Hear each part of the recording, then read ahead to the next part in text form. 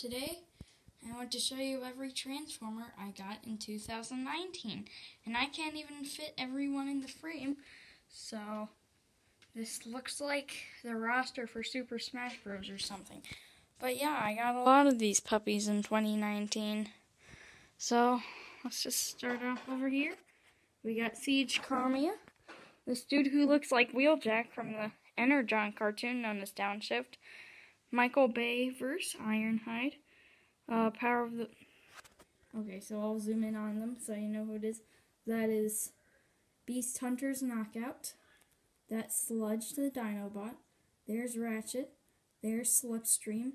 There's Grimlock. There's also another Grimlock behind him. Behind Optimus there. Bumblebee looking having weird army stuff. Whoop. Oh, I just lost the camera. There is Swoop, the Dinobot. There's Slash, the Dinobot. There is my G1 reissue of Hot Rod. There's Optimus, Grimlock, Megatron, Astro Train, Starscream, Thundercracker, Jazz, Arcee, some something I don't I don't know what this one is.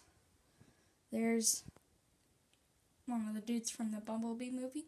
There's Lionizer. There's the G1 reissue with Starscream that took forever for me to get. There's Skybyte, there's Hound, there's Refraktor. And I had to, I kind of wanted to do this quick. So there's my army that I got in 2019. That's that's a lot of dudes. I, I'm trying to remember this dude's name.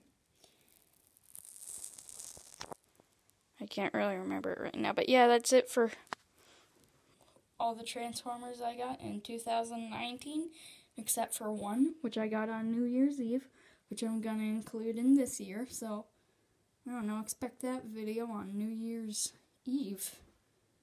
Alright, later, guys.